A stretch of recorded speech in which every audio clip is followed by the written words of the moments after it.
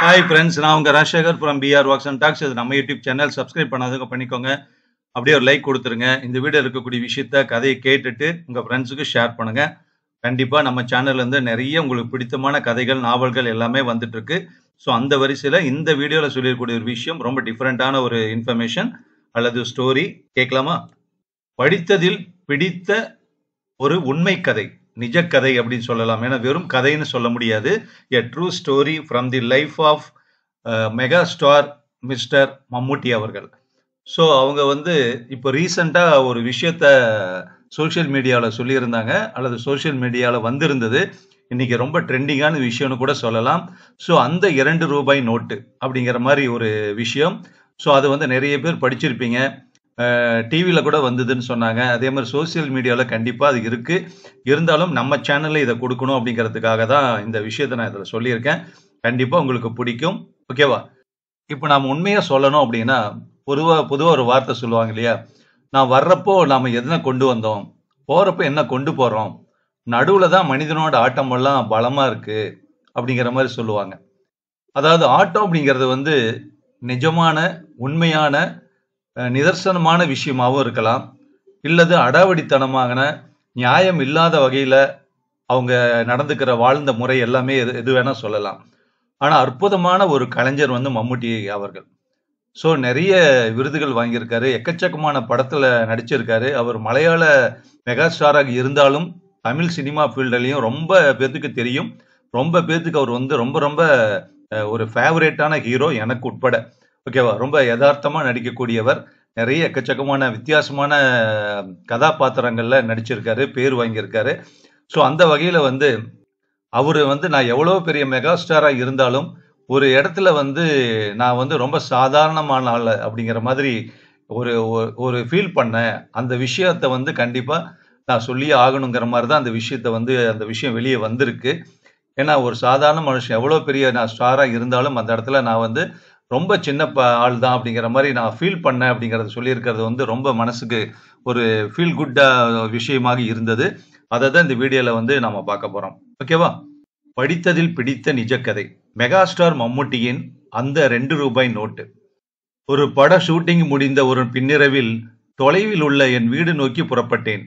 புறப்பட்ட அடுத்த அரை மணிக்கெல்லாம் நகர எல்லை தாண்டி அடர்ந்த வனப்பகுதிக்குள் நுழைகிறது என்னுடைய கார்.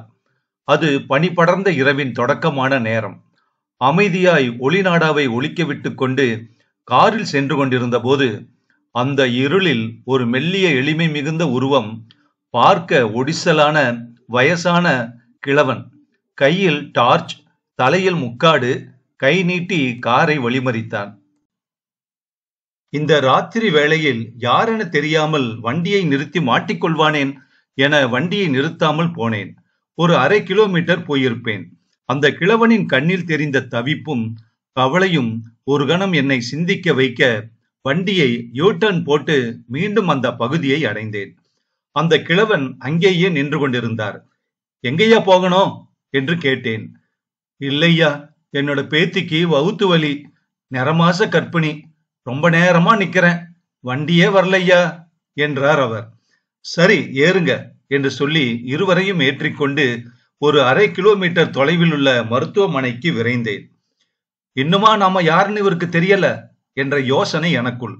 ஒருவேளை பேத்தி பற்றிய கவலையிலும் இந்த இருளிலும் நம்மை அடையாளம் தெரியாது போயிருக்கலாம் என நினைத்து கொண்டேன். அந்த பெண் கிட்டத்தட்ட மயக்கமுற்ற நிலையில் இருந்தாள்.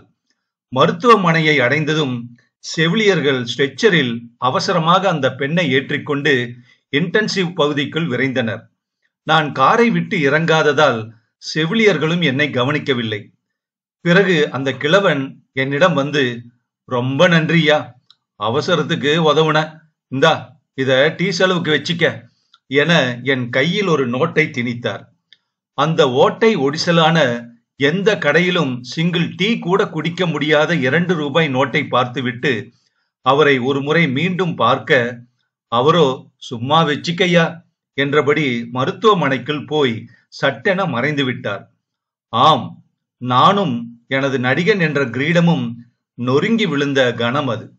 நான் இதுவரை நான்கு தேசிய விருது வாங்கிவிட்டேன். ஆனாலும் அதைவிட இன்னும் பத்திரமாய் பொக்கிஷமாய் அந்த இரண்டு ரூபாய் நோட்டை பாதுகாத்து வருகிறேன்.